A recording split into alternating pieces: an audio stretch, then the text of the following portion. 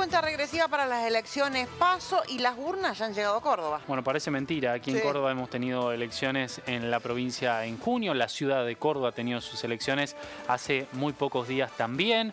Bueno, y en tantas otras provincias ha habido test electorales, municipios que han ido también a las urnas. Y bueno, ahora hay que prepararse para las elecciones nacionales. Así es que este domingo no, el próximo. Las elecciones paso son elecciones para elegir candidatos dentro de los espacios políticos. Hay algunos de esos espacios políticos que van a internas, otros tendrán candidatos únicos que van a terminar siendo proclamados como candidatos para las elecciones del mes de octubre, las elecciones generales de octubre. Y en ese marco ya ha comenzado la llegada de las urnas y de las boletas en papel, porque también esa es una novedad para provincias como Córdoba, donde votamos con la boleta única de sufragio. Bueno, vuelven las papeletas de cada uno de los espacios políticos que llegan junto con las urnas, después los partidos políticos también se encargan de distribuir. Esta mañana eh, estuvimos allí en los tribunales de la ciudad de Córdoba, estuvimos viendo ¿no? ese despliegue que significa la llegada de las urnas que en los próximos días van a comenzar a ser repartidas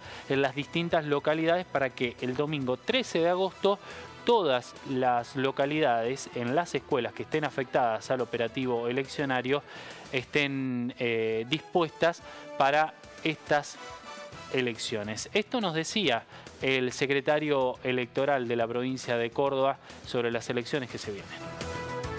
Bueno, es el momento ya de mayor auge de la logística.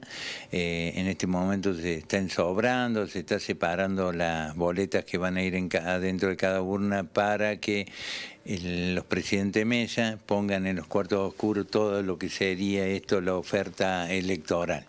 ¿No es cierto? Esto es al comienzo de la elección, después la reposición de boletas estará a cargo de cada agrupación política. Eh, quien ingrese al cuarto oscuro va a tener este panorama, ¿no? Las 31 boletas, si no me equivoco.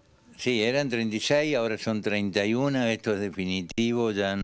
Eh, ¿Cómo es la logística para una provincia extensa, larga, ancha, digo, llevar cada una de las, de las boletas de las cajas todo a destino? Sí, la logística es enorme. Empieza el, el jueves a la madrugada, el día 10 a la madrugada se va todo lo que es la zona sur, después el 11 se va todo lo que es la zona norte. Eh, la geografía de Córdoba no nos permite el desplazamiento el día anterior de las elecciones, aparte una también hay que tener en cuenta por cualquier tipo de inconveniente los backups para poder superar esas situaciones, ¿no? Por eso se van anticipadamente. Digamos, en Río Cuarto llega todo hacia el correo, si no me equivoco, y de allí se, se distribuye.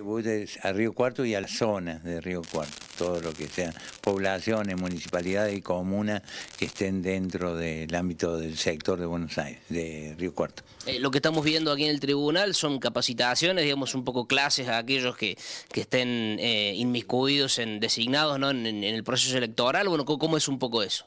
Bueno, sí, ahora ya, se, empezaron, obviamente están todas las designaciones de autoridad de mesa y delegados en la calle, ¿no es cierto? Y ya empezaron las clases a la autoridad de mesa y ustedes las pueden ver, ahí ya se están dando clases.